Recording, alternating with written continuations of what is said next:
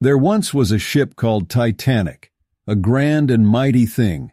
On board were rich and poor alike, and everyone thought they were king. There was a girl named Rose, engaged to marry a wealthy beau. But then she met Jack, a charming chap, and her heart said, oh no. They fell in love neath the stars, on the deck of the ship so grand.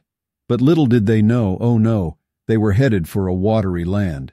The ship hit an iceberg, oh dear, and the water rushed on in. Jack and Rose held on tight. But things were looking pretty grim. Jack was heroic and Rose was brave, but the ship sank all the same. They both survived, but Jack froze to death. And that's how the story became. So now we remember Titanic, a tale of love and loss.